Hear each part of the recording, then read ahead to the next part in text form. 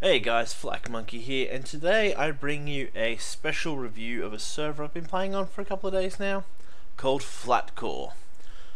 Now, this is a slight twist on the typical Flatcore servers, well not servers, but Flatcore challenge people do, so it does have the standard bedrock, two lots of dirt, and then one lot of um, grass, so it is the classic flat. However, it's got a few changes, and I think that makes it all the worthwhile. Um, so hopefully you guys, you know, watch this video. There's a couple of other people reviewing at the moment, and I recommend you check it out for yourself because there's nothing like it. So, get food first. Hunger will kill you. We are on a hardcore server, and the it is set to hard. So, and hunger's been buffed, so you starve almost instantly. It is, you know, so once you've yeah, hunger's gone your health just drains away like crazy. So take wood and cobble and make tools so you break down any structures you find and you can. And uh, what else we got? Unnecessary items can be found. So instead of having um, villages with blacksmith chests, they've got loot structures. And these are admin place structures. So you've got a logging camp, for example, which has um, saplings in it, uh, can have tools, Farmstead can has food, um, saddles, and tools. Um, Manor can have diamond, emeralds. It can have uh, iron, and also enchanting books and buckets. Then you have graveyards, which are hostile, so mobs spawn in them. You have armor, obsidian, and keeps where you get diamond um, tools and weapons, and you get um, gold and they're also hostile. So you've got to sort of be careful of those two spots, but the other ones are pretty good.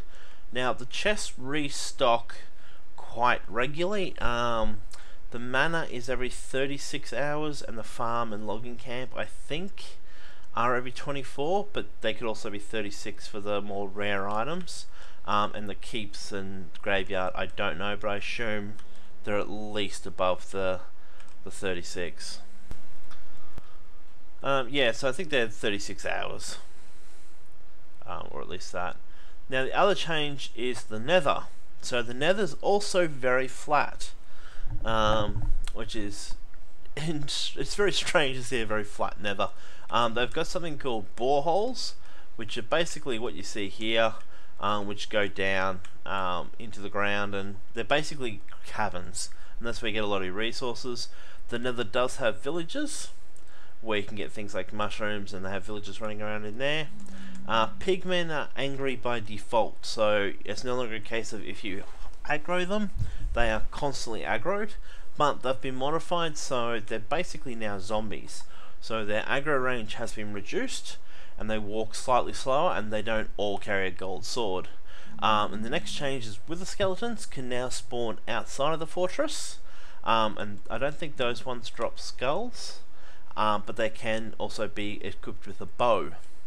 Um, and then you got you know um, basically large sort of towering fortresses which are very hostile and they have stuff as well. So that's kind of cool. It's a nice change.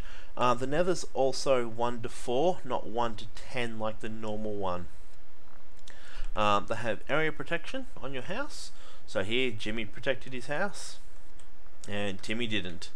So Timmy's is burning and Poor Timmy. Alright, so how do you protect your base?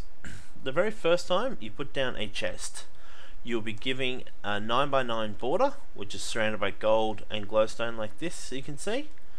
Uh, and anyone, that's to bedrock and right to the very top of the height.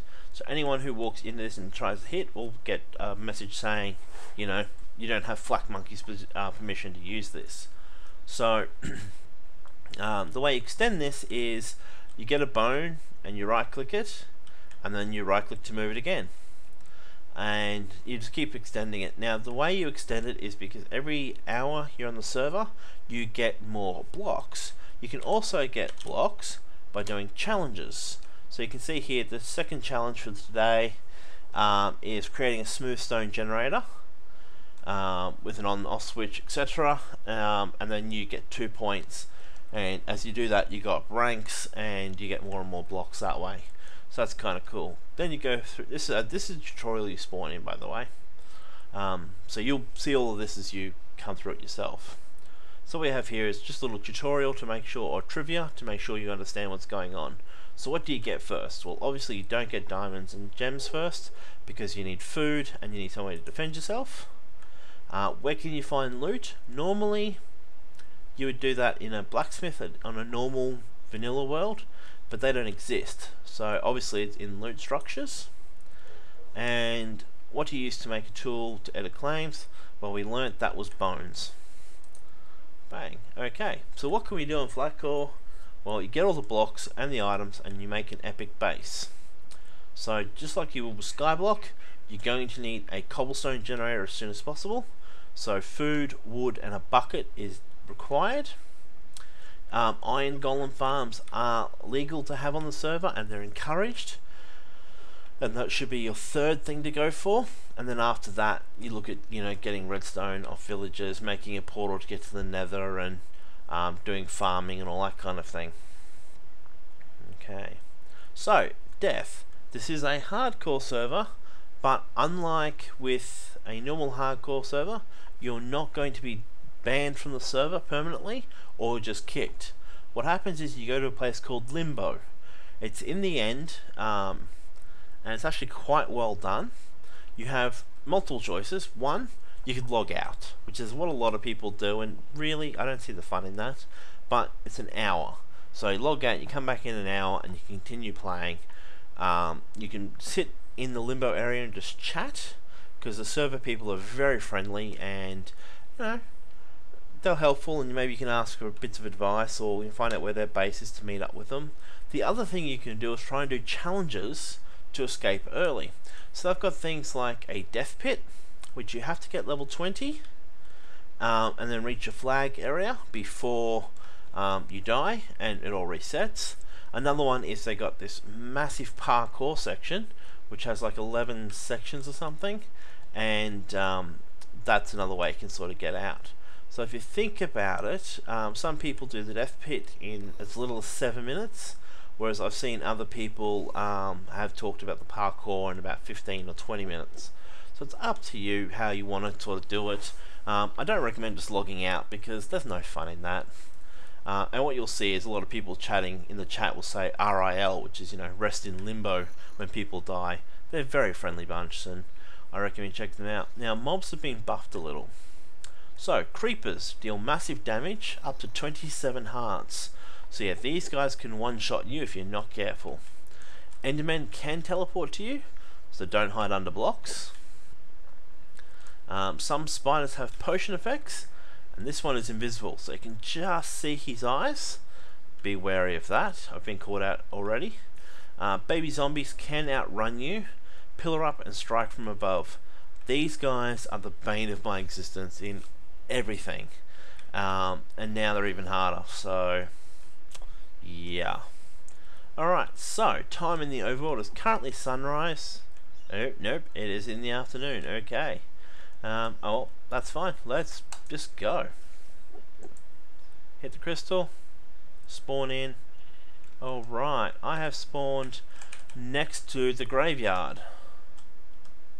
Okay, that could be interesting. So this is one of those hostile places that we talked about that you really probably don't want to be in.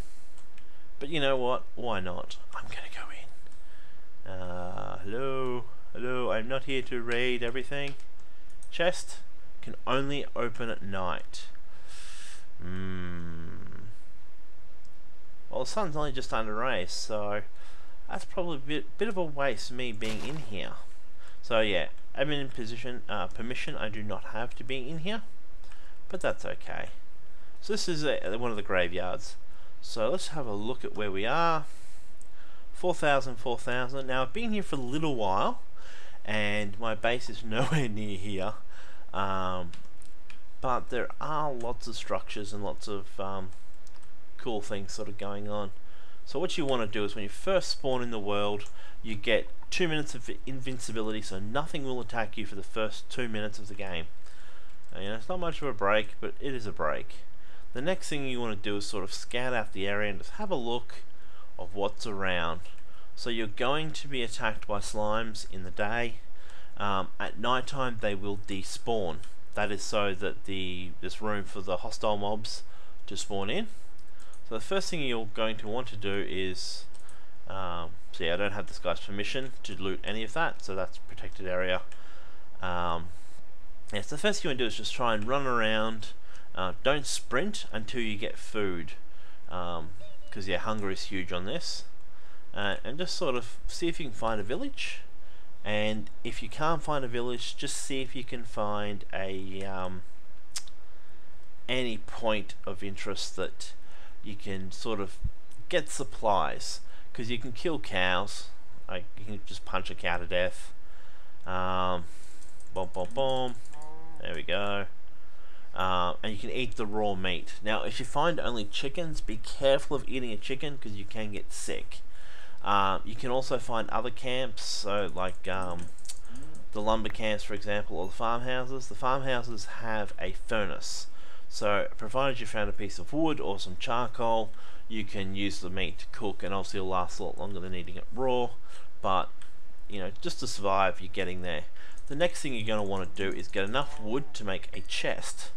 Now, as soon as you get anything of value, so if you get uh, a sapling, a bucket, or something like that, or you come across a really nice village that hasn't been claimed and you want to sort of set up shop there, place your chest straight away and then um, yeah place your chest and then straight away what you want to do is um, drop everything of value in it because if you die you lose everything uh, and then just sort of explore around as best you can. And if you know some reason you die, oh, take a screenshot of where you've got your chest because you won't spawn back at your base. You'll spawn somewhere randomly in the world, and um, you'll have to run back, which is always fun. Uh, but you know it's a necessary evil. So I'd do that, um, and that's probably the best bit of advice I could give you: is get supplies, get a base camp going, get yourself saved in the location and the coordinates of your base and then just talk to the community they're a very helpful bunch um, nobody has cheats nobody is in a pay to win mode everybody is super super friendly and they're more than willing to help out you know you may have to go for a big epic run to get someone so there you go Commander Sealand RIL rest in limbo they're a very caring community here and um, mature as well. I mean, they don't have an age limit as such, but the requirement is that you know you're mature. So you talk in all capitals. Um, you, you know, you scream obscenities at people, you will be kicked, you will be banned, and frankly, you know, that's fine by me. Um, but you know, if you be nice to the community, you know, you show respect, and you try and help people where you can, they pay it back in you know tenfold. So do yourselves a favour load up Flatcore, see what you guys think, and just give it a go. Because if you can make it in a Flatcore world like this, or even like a Skyblock world, there's nothing Minecraft can throw at you that you can't handle. So anyway guys, if you do decide to play Flatcore, um, Flatcore, please jump on the server. If I'm on, say hi Flakk, and you know, come meet me in my base. Um, I'll help supply you up. So the coordinates for me is, um, I'll put it in the description below, but my base is at um, x 450, uh, z minus 3400. So it could be a bit of a run, but you know I can get you guys sorted. I've got an iron farm, I've got a um, cobblestone generator, um, I've got some farmland, so I can get you food, I can get you some you know tools and stuff, and sort of get you sorted. But if you just feel like going on your own, feel free to pop in and say hi and yeah, enjoy the community. As always, have a fantastic day and look forward to seeing you. Flakk Munky out.